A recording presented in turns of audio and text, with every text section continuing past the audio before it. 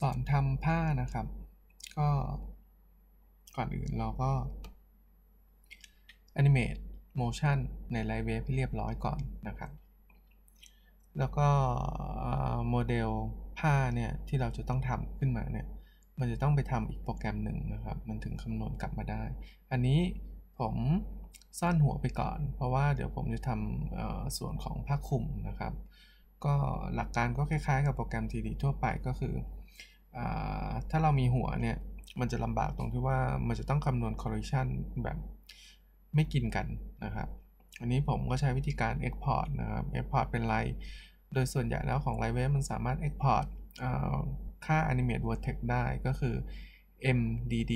scan นะครับ ก็คือเราต้อง export ออกไป แล้วก็ใช้คู่กับไฟล์ obj นะครับ อันนี้ เราก็มาเปิดโปรแกรม Marvelous นะครับ ที่เราใช้ทักคำนวณผ้ากันนะครับ ก็หลักการก็คือเหมือนเราเย็บผ้าจริง เราต้องคิด pattern ผ้าของของส่วนที่เราจะต้องเอามาใช้กับตัว character เรานะครับ อันนี้เป็น default ของตัวโปรแกรมนะครับ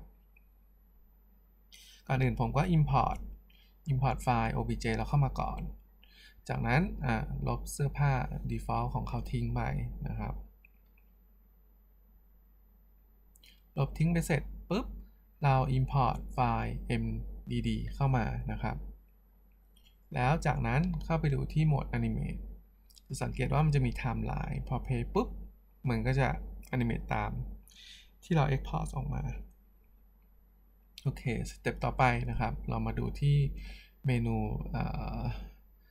simulate นะครับ simulator นะครับ ก็เขียน pattern ผ้านะครับ แต่ละด้าน แล้วเดี๋ยวเราจะมาเย็บต่อกัน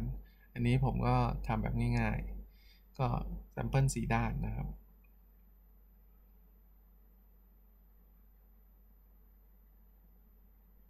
ก็เสร็จแล้วก็ move นะครับ move ไปไว้ใกล้ๆกับตัวคาแรคเตอร์เรานะครับอ๋อแล้วก็อีกอย่างหนึ่งนะครับ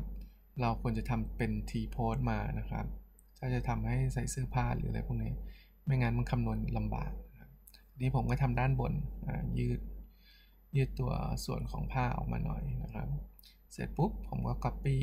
นะครับ copy แล้วก็ paste ลงมาเหมือนเดิมจะทำส่วนของด้านข้างนะครับ ด้านข้างกับด้านหลังอันนี้ด้านหลังก่อนโอเค เสร็จแล้วจากนั้นนะครับ ผมก็เดี๋ยวผมก็โคนนะครับโคนด้านบนนี่แหละ มาทำเป็นส่วนของด้านข้างนะครับ เราก็มาวาง วางเสร็จปุ๊บก็หดมันลงมาหน่อย โอเค ประมาณหนึ่งแล้วเดี๋ยวเราก็ copy แล้วก็ paste mirror นะครับ มันจะไปอยู่อีกด้านหนึ่ง แต่ว่าเดี๋ยว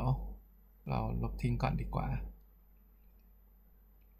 จัดมันก่อนดีกว่า มันจะได้ง่าย ๆนะครับ ก็เดี๋ยวขอเปลี่ยนเป็น view font นะครับ แล้วก็ rotate ลงมาเนี่ย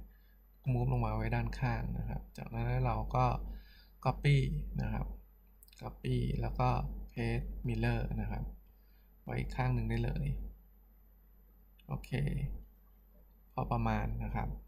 จากนั้นนะครับ จากนั้นเดี๋ยวเรา จะต้องมากำหนดรอยเย็บนะครับ ก็เลือกถูแล้วก็กำหนดรอยเย็บว่าส่วนไหนจะเย็บกันตรงไหน สังเกตเส้นที่เขาลิงก์มาให้ดูนะครับ ถ้ามันไม่ใช่ก็เอาใหม่ อันดูกลับแล้วก็เอาใหม่นะครับ ที่ถูกมันจะต้องเป็นลายเย็บคล้ายๆแบบที่ผมทำให้ดูเนี่ย แล้วเราก็หมุนดูว่ามันเออร์เลอร์หรือเปล่านะครับ จากนั้นกดคำนวณ simulate ปุ๊บสังเกตว่ามันก็จะติดกันเลย เราสามารถดึงได้นะครับ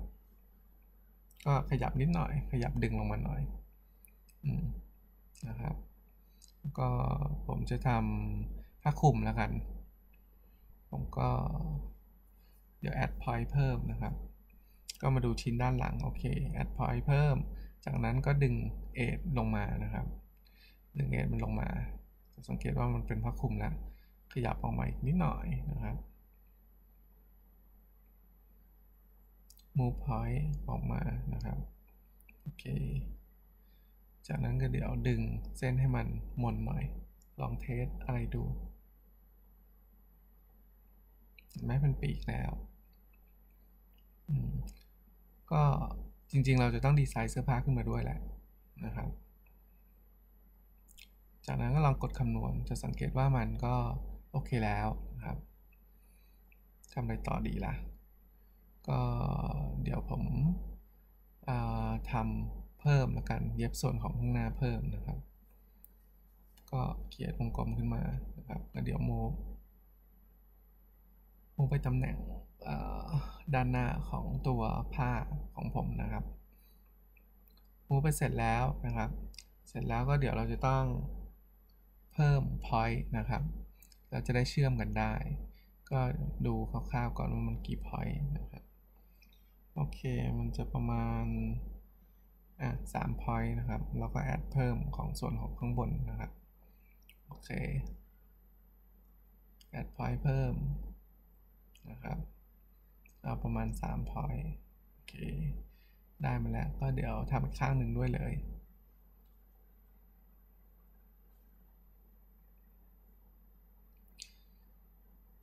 จากนั้นผมก็ copy มาวางอีกข้างหนึ่งนะครับ แล้วเราก็เชื่อมนะครับ เย็บ เย็บก่อนเย็บเสร็จแล้วลองคำนวณดู นี่ไง เห็นไหมมันก็จะไปติดกันให้นะครับ อันนี้มันดูตลกตลกอะ เดี๋ยวทำเพิ่มอีกกันละกันนะครับ แล้ว copy นะครับ แล้วก็วางลงมาทำเพิ่มส่วนของตรงกลาง แล้วก็ add point เพิ่มนะครับ point เพิ่มเสร็จก็รวมนะครับ เดี๋ยวเราก็รวม เย็บติดกันนะครับ โอเค อะ เย็บติดกันนะครับ จากนั้นก็เดี๋ยวลองขยับ หน่อย เปลี่ยนทรงมันก่อนนะครับ ทรงนี้มันอาจจะตลกตลก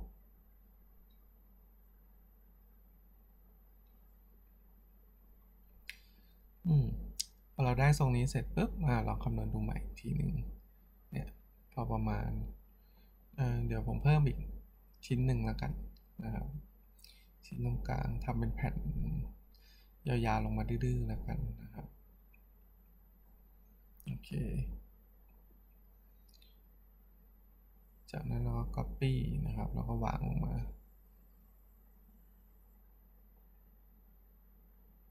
โอเค ผมก็ move นะครับ